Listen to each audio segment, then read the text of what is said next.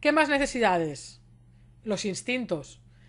Esto estoy muy justo junto al tema de la estimulación eh, mental, vendría a ser la parte de instintos, que también lo he dicho por activa y por pasiva.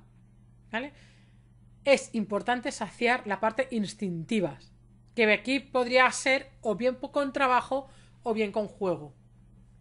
¿Vale? Pero es importante, si no, por un lado o por otro saldrá, y cuando digo que por un lado o por otro saldrá esa carencia, me refiero a que saldrá provocado por estrés.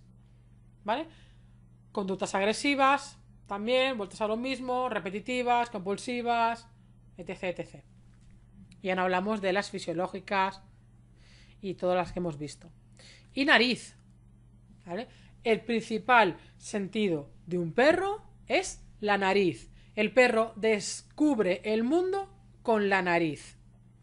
Entonces, privarle al perro, y esto podría estar un poco encadenado con lo que hemos dicho antes de curiosidad, privar al perro de poder trabajar. Lo que pasa es que lo he puesto aparte, ¿por qué? Porque la curiosidad la, la satisface por sí sola, pero la parte de la nariz la puede satisfacer por sí sola, pero también la podemos satisfacer nosotros con trabajos de olfato. Estos que tanto me gustan.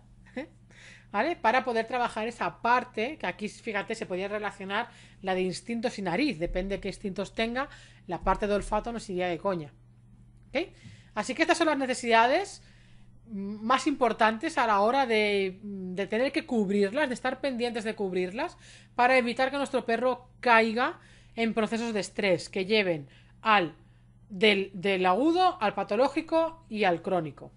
Parecen tonterías, pueden parecer obvios, pero hay muchas de las que hemos dicho que no están cubiertas en muchos perros.